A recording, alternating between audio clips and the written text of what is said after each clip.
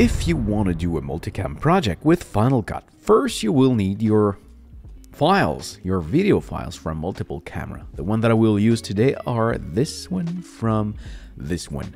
Very important things, name them and try to put a number or something so they start all the same way. This is the video 9 of a series, so this will be fine for me. Then I said that's the English version. And then I name the camera so I can I, uh, easily identify them.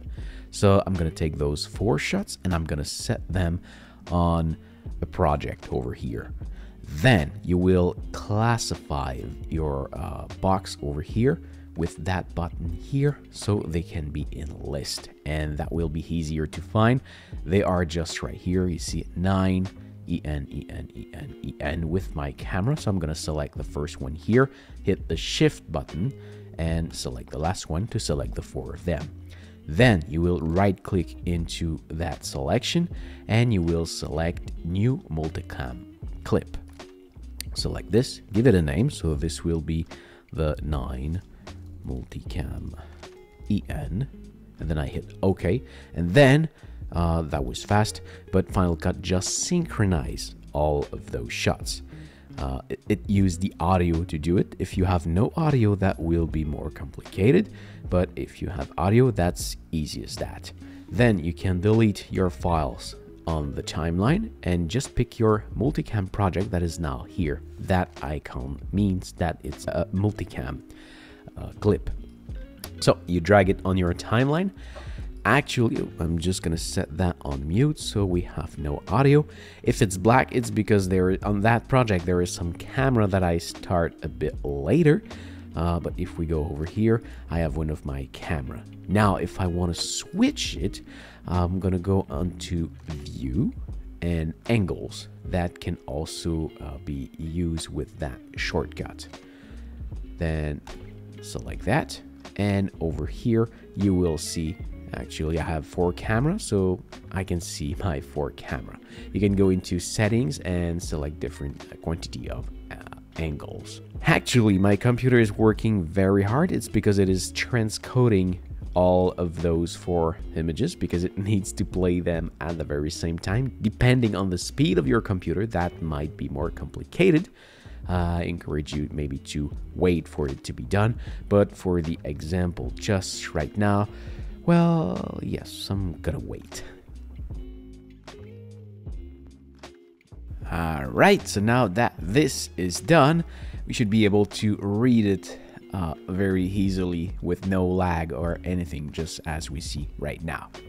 Okay, so now that's is that is done, we can use the uh, touch on the, on the keypad. We can use one, the two, the three, the four, just like that to do a live edit. And if I zoom on my timeline over here, you can see that it create cuts while while I play. So if I play it here and I switch to camera number one, I do have a cut and it switched just like that. Over here, you can see with the color, the uh, yellow rectangle, that this is the shot that we use actually for video and audio, as we can see with that logo. But uh, when I do switch of camera, I want to keep the audio uh, recorded on the camera number three because I had a clip mic that is connected inside the camera number three. So I always want to keep that audio. And for this, there is those three button on top. When you select this, it, the, the keypad will change video and audio. When you select this one, it will only change the video. And when you select this one, it will only change the audio. So once my selection is made and I selected both uh, the the number the camera number three now, if I do switch with that selection, it will only change the video. So if I hit one, now I can see that I have in green my audio and in blue my video. So if I play like that, keep going, I will, even if I change to other camera, I will always have that green rectangle over my camera number three. And if I go back on video, it will be yellow because yellow is for both.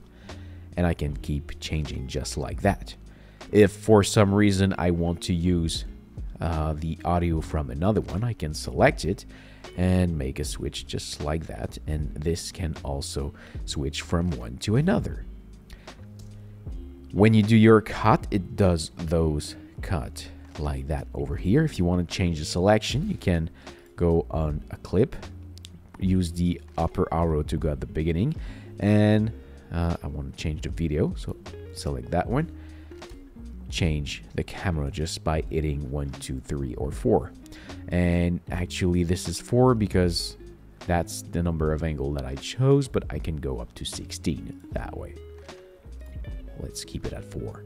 Then if you want to adjust that, you can slide just like that. And if you want to cut apart, like for example, this one is a silence. If I want to remove it, I can click over here and use Command B for blade and delete that part. All of your video are inside, so if you double click on it, you will see all of your uh, video file one by one.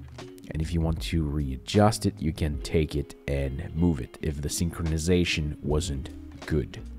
That's what I told at the beginning. Final Cut do uh, sync with the audio, but if you don't have audio, your file will probably be inside and you will be able to uh, move it to the place you want. So this is how you do a Final Cut multicam project.